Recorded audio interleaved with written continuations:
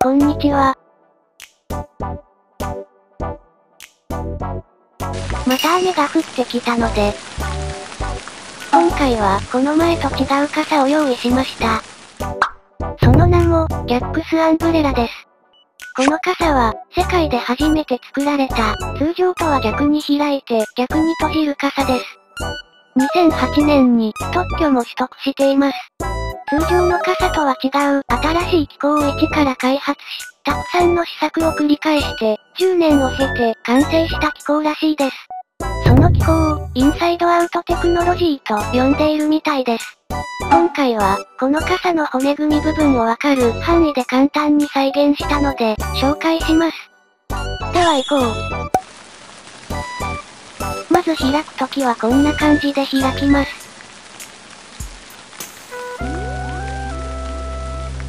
閉じたまま上にスライドし、その後開きます。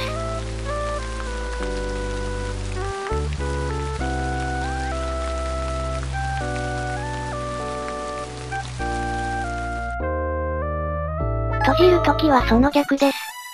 布部分が閉じた後にスライドして手元に戻ります。こうすることで、車に乗り込むときに布が車のボディに触れにくい設計となってますね。では骨組みを見ていきましょう。ちなみに完全再現ではないので、ふーん、そういう感じなのねぐらいで見てください。説明用の骨だけ残して、真横から見ます。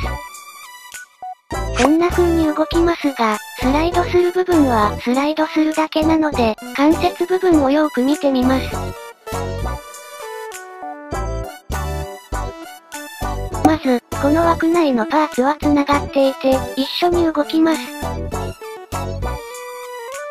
ここまで来ました。この後、上部の骨が筒の中に収納されていきます。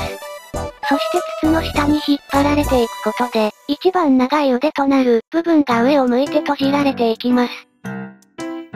さあもう一回。この時、この部分は伸びることができるようになっていて、伸び始めます。ここからは、この部分は上に持ち上げられていきます。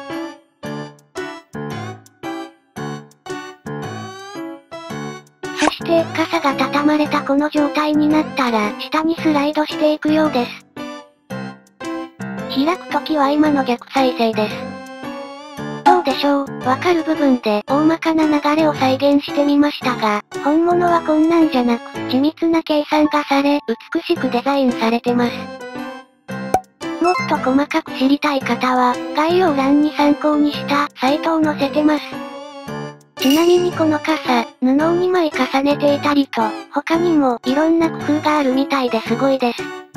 ふう、今回の傘は作るのになかなか苦労しました。よかったらグッドボタンお願いします。この傘が Unity 上でどうやって作られているかとかの説明はサブチャンネルでやろうと思うので、サブチャンのチャンネル登録もぜひ。ということで、何事も最初に考えた人はすごい。